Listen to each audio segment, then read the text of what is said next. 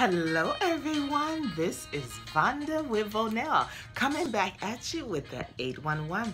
Remember, 8 is the number of new beginnings, 11, the number of inspiration and intent.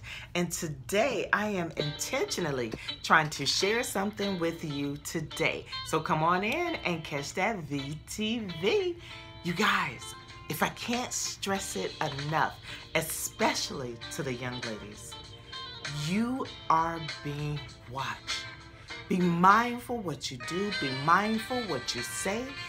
You are the medicine to someone else. You are the inspiration to someone else. You are the example to someone else.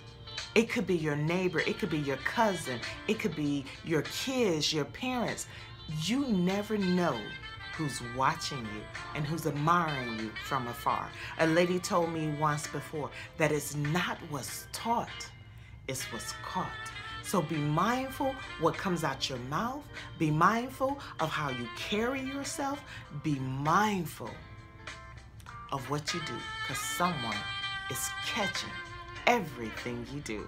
That's what I wanted to share with you today. Thank you for catching the 811. This is Vonda with Vonell, your global success mentor that shares inspirational strategy for those that are desiring and seeking more. Thank you for catching VTV.